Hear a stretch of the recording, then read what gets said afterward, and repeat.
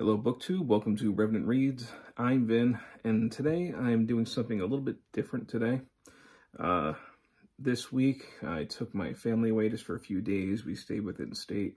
Uh, but one of the places I made sure to hit, at least for a little bit, was a wonderful used bookstore in Niantic, Connecticut called The Book Barn. Um, the main location has multiple buildings filled with uh, a great amount of whimsy. Um, we love stopping there whenever we go through that area. Uh, and on our way back, when it was raining, we stopped at one of the other Book Barn locations, which had uh, a little more genre, genre fiction, and uh, the children's books. Um, so what I thought I'd do was I'd show you some of the video that I took from our visit to the main location of the Book Barn. Um, I edited some footage together, uh, you know, practicing my video editing skills.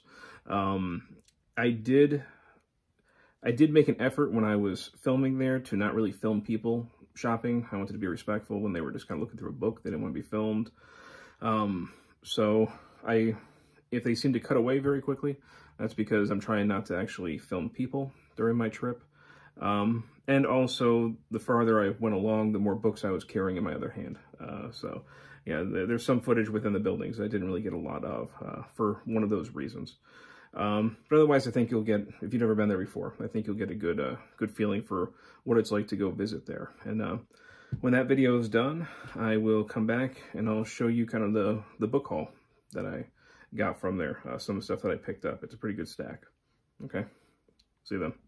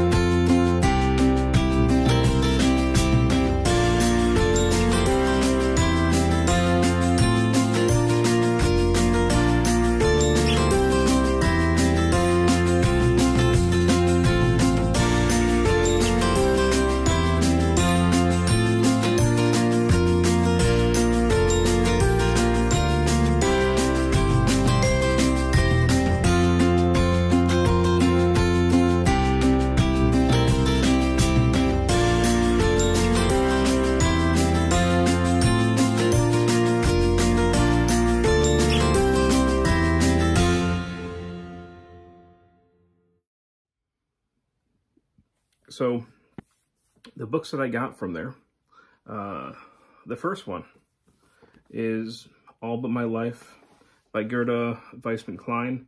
Um, this is a memoir of the Holocaust. I have actually read this before. Um, however, the copy that we had got water damaged and it became uh, pretty ugly. so um, I, I, I, got rid of it or I put it somewhere. Uh, I get past it, paid it forward. I'm not sure exactly what I did with it. Uh, so this is actually kind of a replacement copy for our home library. Uh, my wife also read this and she really wanted to make sure that we got a copy.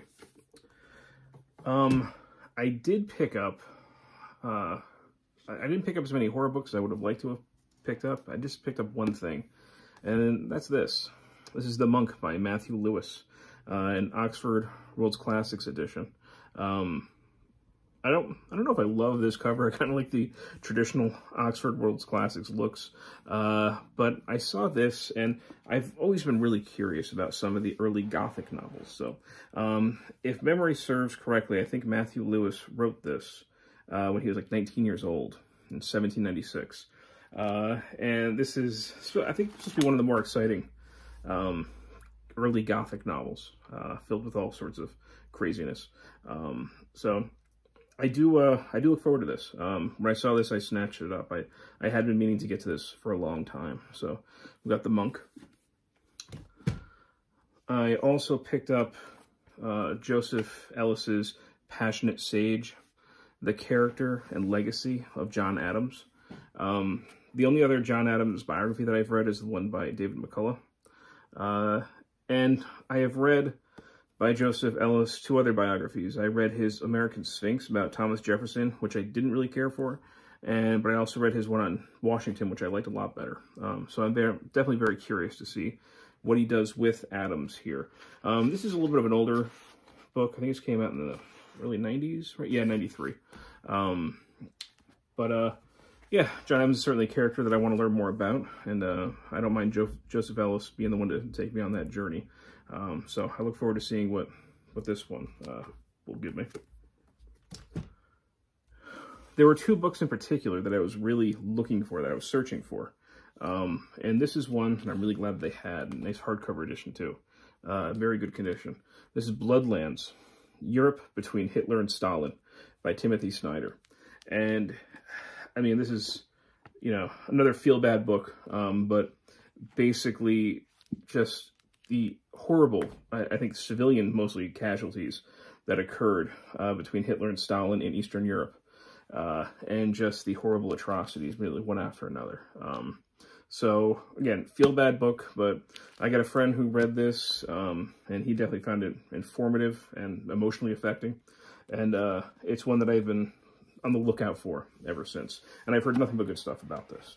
Uh, so yeah, this is one that I, again, that I'm really glad I was able to pick up. And it's a really nice hardcover edition. I had also found a decent hardcover edition of The Witches by Stacy Schiff. I had read her Cleopatra, uh, which I really liked. It was a terrific biography. Um, and this is her account of the Salem witch trials of 1692. Um, I don't know a lot about this, uh, but you know, she's another one that I I feel like I'm in good hands if I'm if I'm going on the journey with her. Um, so uh, yeah, this thinking about maybe saving this for a like Women's History Month for next year. Um, this might be a good one. I do believe that she points out at some point that uh, you know, this is one of the few times in American history where women played a prominent role in a major historic event. Um, so I might save it for that. I also picked up this very large book. We got Ron Chernow's biography of Grant. Um, I mean, I feel bad picking this up because I do actually have his biography of Washington and Alexander Hamilton on my shelves, and I haven't read either of those yet. Uh, but again, they're my ever-expanding TBR. But this is a this is a mammoth. Um, maybe maybe next year, if I feel up to uh, March of the Mammoths, I will tackle this possibly because this clocks in at, let's see, over 900 pages. Um, so this is one heck of a biography, but a figure that I really want to learn a lot more about. Um, I know Peg over at the History Shelf, she's a big Grant fan. Um, everything that I've read about him, uh, I, I do find him fascinating from what I've what I've read about. Um, and of course, I'm a very pro-union person when it comes to the uh, Civil War. Um, I know that, you know, his reputation as a butcher is not really warranted. Um, so I've seen some of the statistics that back that up. Uh, so I'm interested to see what this uh, will bring me, and maybe I'll try and read it in conjunction with his memoirs or something as well. Um, but I'm glad to pick this up. Um, you know, one of the things I look for when I go on these kind of sale things is is hardcovers of nonfiction because they can run so expensive. The other book that I was specifically looking for is this one, Embracing Defeat, Japan in the Wake of World War II by John W. Dower. Um, this is by Norton Publishing, and this came out, see, in 1999. Uh, but this is all about, you know, the, the defeat of Japan and them coming to terms with being taken over and controlled by the United States. Um, so, you know, if you've seen my past videos, you know that I do have a an interest in Japan. I do teach a unit on it, and I want to learn as much as I can about it. And these are certain aspects of the Japanese culture and experience that I want to better understand. Um, so, yeah, this is one that I've been looking out, I've been on the lookout for uh, for a while, and I was really happy to find this. Um, it, inside their uh, their dungeon basement over at the book barn where they have all their nonfiction. Um, so yeah, this is the other one aside from Bloodlands that I was specifically looking to see if they would have. And the last one I picked up, larger, kind of an oversized hardcover. Uh, this is King Philip's War, The History and Legacy of America's Forgotten Conflict um, by uh, a um, two authors here. Uh, and what's really interesting about this, when I was looking through, is, I mean, it is filled with maps and illustrations. Um, it goes through King Philip's War kind of state by state, the different things that occurred.